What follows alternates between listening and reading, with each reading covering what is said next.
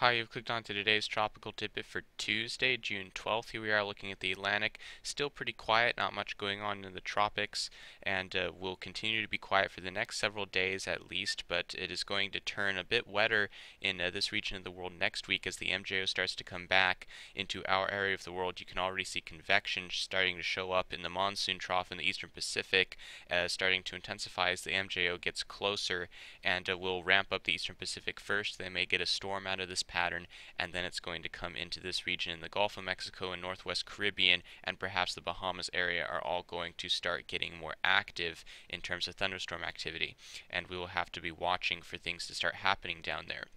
Here's the MJO forecast uh, starting from the 10th. You can see it right now is racing like a mad horse across the Pacific, and this is giving the models some trouble, I think, with seeing this pattern. They've been very on and off with any kind of tropical development in the Atlantic side, uh, and the models differ from each other quite a bit. But you can see the forecasts for the MJO at least are in good agreement. We have the GFS and the UK Met very close together over here on the left, and the European has a weaker pulse as it usually does, probably more realistic, but still a fairly strong one getting into phase phase 1 here, and all of these in very good agreement. You can also see that it slows down and stalls out in phase 1 here.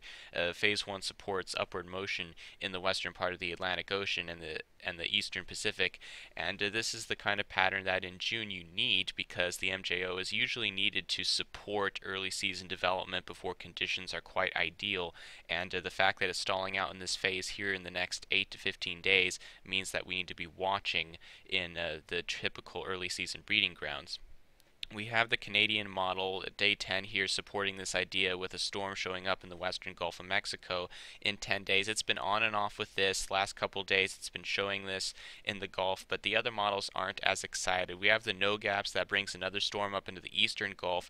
The GFS has been not really uh, excited about development on the operational run, so the ensemble means continue to show lowering pressures in the Gulf of Mexico during that period, and the European has also been on and off with any kind of development. Last night's run, the most recent one, did not show a closed low developing, but again, lowering of pressures was present. And again, these models will probably continue to struggle until the MJO slows itself down and settles into a more consistent pattern in phase one. Now here's the European Ensemble 500 millibar anomaly forecast for the 6 to 10 day period going into late next week. And uh, notice that the big ridge shows up over southeast Canada. It starts out over here over Hudson Bay and the Great Lakes and starts progressing eastward in here. And normally when these things uh, move like this across the northern US and southern Canada, you have to watch underneath of them for forced convergence that can help air pile up in this region of the world and uh, cause tropical development in the early part of the season. Notice that we have a trough over here here in southwest Canada and the northwest United States with the ridge off to the east. And uh, this is an interesting pattern in that it, I noticed it looks very similar to Tropical Storm Allison in 1989 when it formed in the northwest Gulf and came up into Texas and then got blocked and caused a lot of rainfall coming back and then eventually moving out. Also very similar to Allison of 2001, which is perhaps more well known, formed also got blocked over Texas in the same region and then came out to the east northeast. Very, very similar similar storms and in a very similar pattern. And in fact, if we take the composite 500 millibar anomaly from the days that each of those storms formed together, notice that we have the ridge showing up for the northeast U.S., the trough in the west, and the ridge over the northeast Pacific, very similar to the pattern that we have on the European ensemble forecast for the next 6 to 10 days. Now, if we take this a step further and go actually look at these storms individually, here's 1989 when Allison formed in the northwest Gulf here. You can see her down here. This The shaded colors are the 500 millibar heights, not anomalies, but the actual heights, and the white lines here are the 1000 millibar geopotential heights, which are a proxy for sea level pressure, which is a parameter not available with this plotting system. Uh, but you can see her down here. This is June 26th, 1989. Notice that we have the trough coming into the northwestern part of the United States into the Midwest, and then we have this uh, ridge that's moving across the northeastern U.S. and you can see Allison coming up, getting uh, picked up by this trough and moving up into Texas here. Now, if we go to three days later and look at the 29th, notice what happens. Notice that we have a retrogression in the pattern, meaning that things move a little bit backwards. The trough retrogrades to out over the Pacific. The ridge moves back over the northern plains here, and a trough dips down into the northeast U.S., blocking Allison underneath the ridge and forcing her back down towards the south, which is what caused flooding rains in Texas. Similarly, if we look at 2001, when Allison here in 2001's Allison developed on June June 6th. You can see her down here. And uh, you can see the trough that's trying to dig into the northwest part of the United States. Again, you have the ridge moving across the lakes coming towards the east. And then if we go three days later to June 9th, you can see that the trough has retrograded back off the coast. You have the ridge coming back over the Rockies. And again, a trough trying to retrograde back into the northeast U.S. And again, Allison gets blocked, very similar to 1989, and causes the famous heavy rainfall in eastern Texas and western Louisiana, and uh, eventually gets out of here, but is in general blocked. Now, if we look at both of these, very similar patterns. If we look at the Canadian ensemble forecast for day 9 here, notice that we have a trough getting into the northwest, northwestern part of the United States and a ridge moving across the northeastern United States and Great Lakes, very similar to when we had Allison in 1989 here in 2001 with a very similar setup.